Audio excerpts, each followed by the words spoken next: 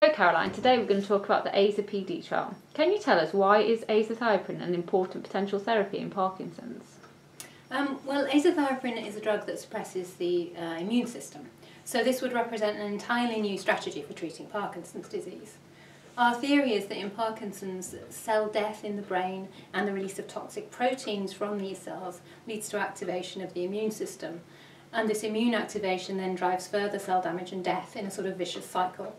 So what we hope is that if we can suppress the immune response and break that vicious cycle, we can uh, slow down cell death and we can slow down disease progression in patients. And if we could do this, it would represent a really important advance in Parkinson's because at the moment all the, all the treatments that we have are what's called symptomatic therapies. So they act by um, boosting dopamine levels, which improves symptoms of the disease, but doesn't do anything in terms of slowing the underlying uh, disease process in the brain. Great. And can you tell us about the aim of the AZA-PD trial? Sure, well it's a, a trial that's um, going to involve 60 participants. Uh, half of those participants will be selected at random to receive azathioprine and half of them will receive placebo or a dummy drug. And what we hope to be able to show is that uh, azathioprine leads to a slowed rate of disease progression in the group uh, that, that receive that drug. Um, it's really a sort of proof of concept trial. So what we want to do is, is demonstrate that suppressing uh, the immune system in the periphery can have an effect on inflammation in the brain and, and on subsequent disease progression. So in order to try and measure that, what we'll do is look at various clinical measures of how the disease is, is, is, is um, progressing, but also we'll be taking blood samples and we'll be taking cerebrospinal fluid samples and we'll be doing PET imaging of the brain, so we'll be able to look at immune markers in the blood, immune markers in the spinal fluid, immune markers uh, and inflammation within the brain as well. Can you tell us how encouraging is research into inflammation and the immune system for Parkinson's? Um, well, there's been a lot of developments actually in this area over the past five, five or ten years, and the evidence that the immune system is involved in driving Parkinson's is, is quite strong now. So there's certainly a lot of evidence uh, from studies in the laboratory. So if we look at uh, models of Parkinson's disease in the lab, and in, these in models, if we alter certain components of the immune system, we can see that that has a knock-on beneficial effect in terms of survival of dopaminergic cells. Um, but there's also really encouraging evidence coming out of studies in, in patients. So, for example, genetic studies have provided some really strong evidence supporting that this idea that the immune system is really critical in Parkinson's.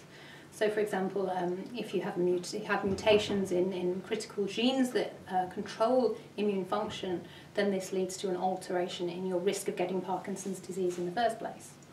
Um, we've also been looking at studies, uh, studies where we've taken blood samples from large groups of patients and we've looked at the, uh, the profile of immune markers in the blood um, close to the time of diagnosis and we find that those individuals who have a more inflammatory profile of markers in their blood tend to do worse over time in terms of their motor function and in terms of their memory and thinking. And then also, um, uh, very recently, there's been some, uh, some good evidence published to suggest that individuals who take immunosuppressive drugs for other conditions seem to have a reduced risk of developing Parkinson's disease. So these are big sort of epidemiological population studies where you take um, uh, thousands and thousands of people who are on immunosuppressive drugs, follow them over time and look at their risk of Parkinson's disease. And you look at um, uh, how that risk compares to the risk of Parkinson's in the population as a whole. Um, so that's really uh, supported uh, this idea that moving forward to a clinical trial of immunosuppressants in PD is a good idea. And do you think that azathioprine could be developed as a new treatment for Parkinson's, given that it's such an old drug? Well, the fact that it's an old drug is actually quite helpful to us because it means that we know exactly how to use it. We know what sort of dose we should be using in patients. Uh, we know how many times a day they have to take it. We know about the sort of side effects we're going to expect.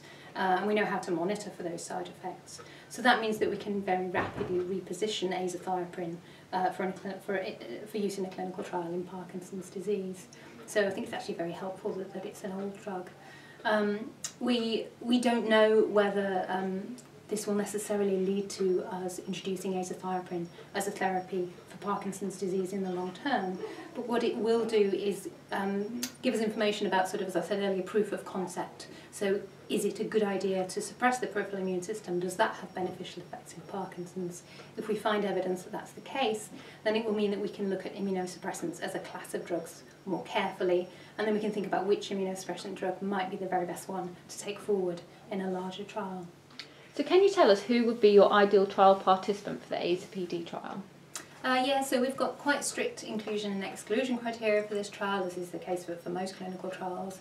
Um, for this particular trial, we want to recruit patients within the early stage of their disease, so within the first three years from diagnosis, um, because we want to treat them before too much cell damage has occurred, and we want to try and break that vicious cycle that I spoke about earlier of immune activation leading to cell damage. Um, we also are planning to uh, recruit individuals who have uh, signs that suggest that they are they will progress more rapidly over the course of time.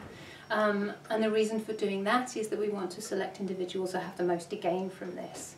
And by choosing those individuals in whom the disease is likely to progress a bit more rapidly, it also gives us a greater chance of being able to demonstrate a, a statistically significant effect, which will then allow us to move forward in, into, um, into um, larger trials in, in bigger numbers of patients. And then finally, we've got to think about uh, safety issues. So we wouldn't, for example, want to treat a patient with azathioprine if they're already on another immunosuppressive therapy. And we wouldn't want to include patients in this trial who we know have any other inflammatory or immune problems. Um, and can, can you tell us when do you hope to report on this trial? Um, so if all goes well, we're hoping to recruit our first patient by the end of this month, and then we should report on the trial in three years, so early 2023. Thank you.